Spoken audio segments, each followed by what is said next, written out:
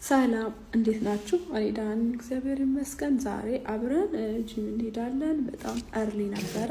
ተነሳው፣ ተጣጠብኩኝ። ከዛ ቀጥታ ወደ ጸሎት ነው የገባሁት። ጸሎቴን ከጨረስኩኝ በኋላ ሁሌ ከስፖርት በፊት የምጠጣውን ጁስ አዘጋጀው። actually juice ኡ ለማዘጋጀት በጣም በጣም ቀላል ነው። በቃ ጊዜ ምናምን አይፈጅም። ለእኔ ደግሞ በጣም ተመችቶኛል።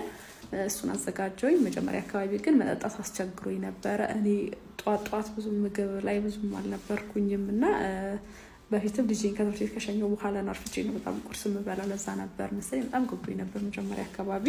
ግን እየለመድኩት ስመጣ በጣም አሪፍ ሆኖልኛል። በቃ በጣም ደስ ነው የምጠጣው። ቆንጆ ነው፣ አሪፍ energy ይሰጠኛል ከስፖርት በፊት ስለሆነ። ከዛ ከሮብና አርብ በስተቀር ሁሌ ይህንን ነው ጠዋት የምጠጣው። አልናዛ እንደምታይ በጣም early ነው። ጫማዬን ቀያየርኩኝ። እንግዲህ ቀጥታ ወደ ጂም ሄድኩኝ። leg day ስለነበረ በሳይክል አሟሟኩኝ። ከዛ dead lift ነው እያደረኩ ያለሁት። I know form ኤ ትክክል ላይሆን ይችላል፣ ግን ከጊዜ ብዛት በኋላ through training ይስተካከላል። starting ስለሆነ በመስራት የማይለወጥ ነገር የለምና እዚህ ጋር እንደምታይ hip thrust እየሰራ ነው። leg day ካለ hip thrust ነው አይሆንም እና ግዴታ ነው። እዚህ ጋር እንደምታይ በጣም አድካሚ ነበረ። እንግዲህ እሱን ሰራርቼ ጨረስኩኝ። ከዛ ተጣጠብኩኝ። እንግዲህ ዛሬ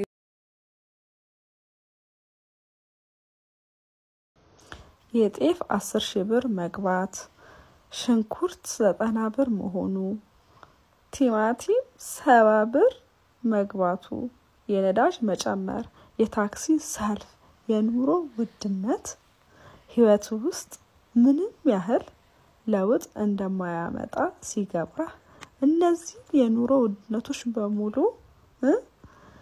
የሚያስብልህ ሌላ ሰው እንዳለ ስታቅ የምትተኛው ገራሚ እንቅልፍ ይሄ ነው።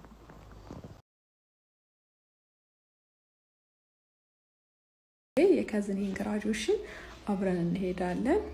ለመጀመሪያ ጊዜ ሳናረፍድ ቀድመን እነሱ ከመድረሳቸው በፊት ቀድመናቸው ደርሰን እዚህ ጋር እነሱ መጡ። ከደብረ ብርሃን ዩኒቨርሲቲ ነበረ graduate ያደረገችው እና ከዛ ሲመጡ ይኸው እንግዲህ ሞቅ አድርገን ተቀበልናቸው።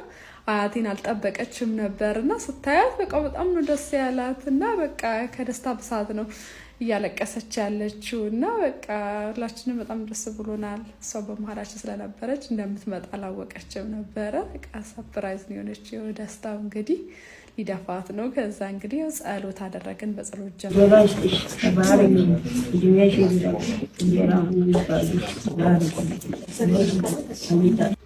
እኛ ቤት ምርቃት በጣም ትልቅ ዋጋ አለው እና በቃ በምርቃት በጣም ነው የምናምነው ሁላችንም ከእናቴ ከአጎቶቼ ጀምሮ አባቴ እና ሁሌም እንደዚህ እናታችን አባታችን ሲኖሩ በተለይ ደግሞ አያታችን ስትኖር በቃ ለምርቃት ትልቅ ቦታ ነው የምንወስደው እና በእናትና በአባቱ የተመረቀ ሰው ምንም ቢሆን አይወድቅም እና በጣም ትልቅ ቫሊዩ ያለን ለምርቃት። ከዛ እንደዚህ